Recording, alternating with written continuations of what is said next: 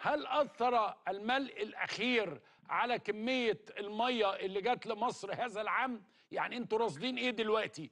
الناس بتقول إنه هناك انخفاض في مستوى النيل الآن. هل هذا صحيح؟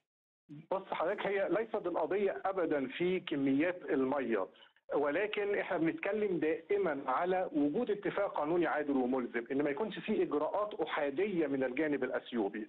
الهدف هنا أنا بعمل اتفاق دائم وملزم. دائم بمعنى إن أنا ممكن بعد فترة من الزمن يكون في حالة جفاف أو جفاف ممتد. أنا عايز يكون في اتفاق إنما أنت لم تتأثر هذا العام بالملء الرابع.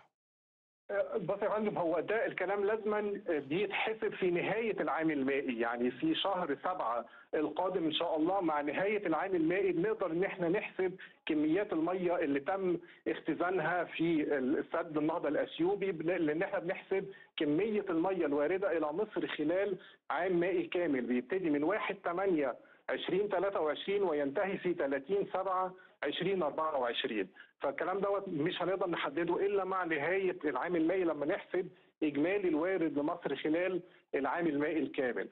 ولكن في جميع الأحوال القضية هنا هي الإجراءات الأحادية للجانب الأثيوبي اللي إحنا بنطالب بسببها إن يكون في اتفاق قانوني عادل وملزم بحيث إن أنا في جميع الحالات أقدر أعمل عملية تشغيل وملء للسد أو إعادة ملء دوت في جميع الحالات في الحالات العادية أو في حالات الجفاف أو الجفاف الممتد بشكل واضح وملزم بحيث إن يعني يكون عملية إدارة الموارد المائية بشكل واضح وبترضي الثلاث دول مصر والسودان وأثيوبيا.